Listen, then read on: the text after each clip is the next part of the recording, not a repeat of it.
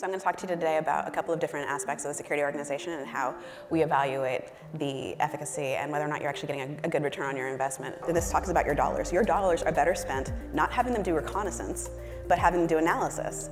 The set of resources required for security programs gets larger and larger over time. You identify security vulnerabilities and then you start to see them drop off. The more time you spend on it, the fewer that you find, and eventually you reach kind of like a trailing tail here where you are spending more time in identifying fewer vulnerabilities. Threat modeling is a methodology that um, I created when I went to Microsoft to help folks answer the question, you know, is my application secure? Am I doing enough? Am I doing the right things? How do I know what I'm supposed to be doing when, when it comes to trying to secure this application? Over time, you get a process that is so complicated that it, it starts to feel undoable. You're also infuriating the engineering organization. They start to think of the security organization as an impediment to their work, and that's not what we want. A lightweight process is probably more appropriate. Maybe this is the sort of thing that you spend a few hours on for each component, like for each major component a couple of hours. So threat modeling is worthwhile, but make sure it's appropriate to your organization. Is my time or money well spent? Does the program match the need?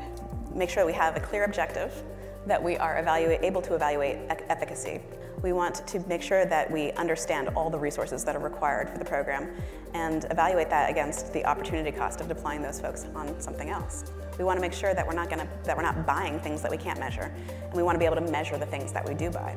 For people, retaining great talent is a lot less expensive than continuously trying to replace it. There are a lot of different places to look if you want to begin to evaluate the efficacy of the security organization.